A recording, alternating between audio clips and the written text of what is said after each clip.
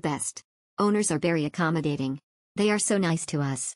The place is clean and beautiful. We are so lucky because it's snowing that day. Highly recommended to travelers with personal transport. A very nice place. Tranquil ambience. The owner is a friendly one. And next to it has a very cozy cafe. Not far from Pyeongchang downtown and Alpensia Ski Resort. Good stay at Soop and Soop's spacious house. We had a warm welcome from host Mr. Kim.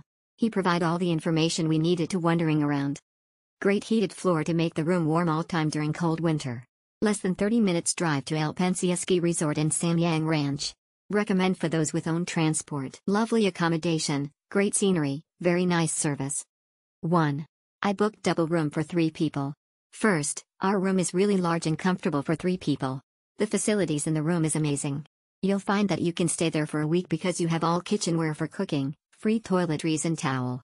We're very pleasant with our cleanliness, cozy, beautiful room.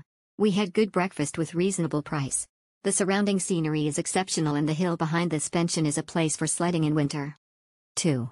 This place is close to Hoenggye Intercity Bus Terminal that you can take taxi from there for around 10 minutes. From Hoenggye Terminal, we took free bus to Daegwallyeong Sheep Farm and Yongpyong Ski Resort. 3. Mr. Kim, who is the most impressive service provider.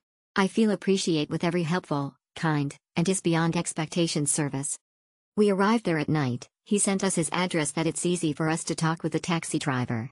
After we got there, he cooked us free Korean noodle and ordered chicken for us. It's delicious. I went to Pyeongchang by intercity bus and left my bag on that bus. Because of him, I got my bag back with nothing lost. In the morning, he drove us Hoenggye bus terminal for free again. I couldn't thank you enough. Good experience at Soop and Soop.